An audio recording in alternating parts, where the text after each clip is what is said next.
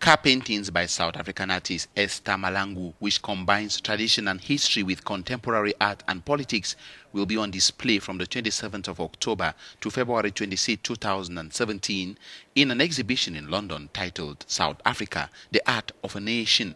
The artist is known for her bold large-scale contemporary paintings which showcase the Ndebele heritage.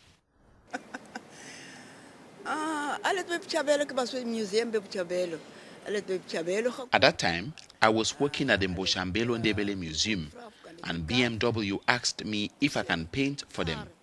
I said yes, I could paint a car for them. When they said it is a new car, I said no problem, wat hulle praat it is my job. nuwe kar. En uh, gaan jy hom verder? Dis ek ek gaan hom verder. Dit's nie probleem, dis mos my werk toe verder. The relationship between Mahlangu and BMW started in 1991 when BMW invited Esther Mahlangu to make a work of art in their art car project.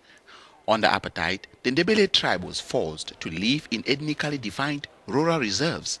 Their designs are an expression of cultural identity and can be read as a form of protest against racial segregation and marginalization.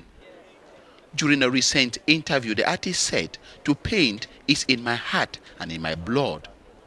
Mahlangu acquired painting skills from her mother and grandmother.